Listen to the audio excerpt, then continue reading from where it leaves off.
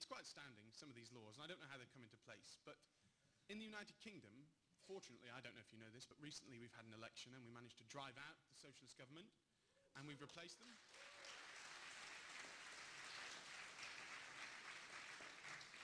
and we've replaced them with a conservative government, a conservative liberal government, but liberal doesn't mean the nasty thing that it means here. It just means uh, tax lowering and uh, sort of free-spirited, I, I, like to think anyway. Um, but in the United Kingdom, it doesn't matter uh, whether something's illegal or not, because we have a wonderful thing, I say wonderful, I mean awful, thing called, uh, it's just British politeness, I can't help myself.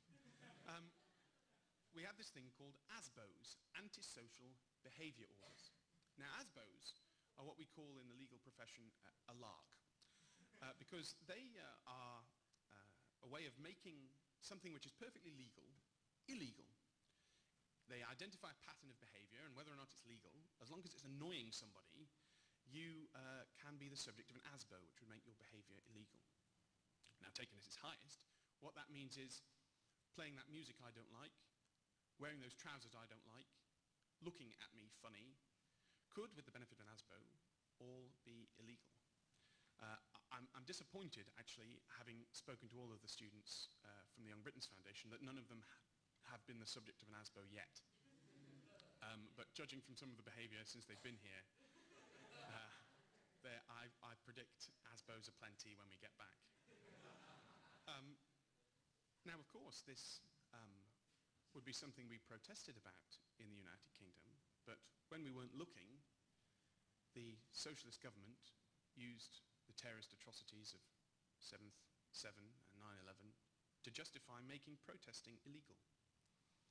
What they've done is they've created a law which they said they created to prevent terrorism. And they've made it so that it is now illegal to protest within one mile of Parliament without a license.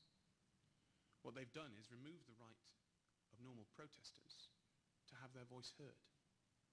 And I don't know if you're aware of this, because I've spoken to a lot of Americans and very few of them are. But the same thing is happening here.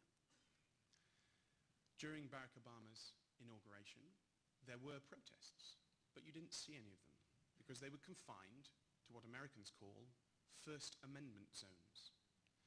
And what those are, are zones which are specially set aside for protesting. And only within those zones may you exercise your First Amendment rights.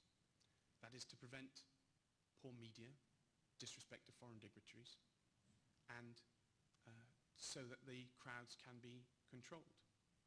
Now, I- am not sure about this, but when I read the First Amendment, it said Congress may make no law abridging the freedom of speech.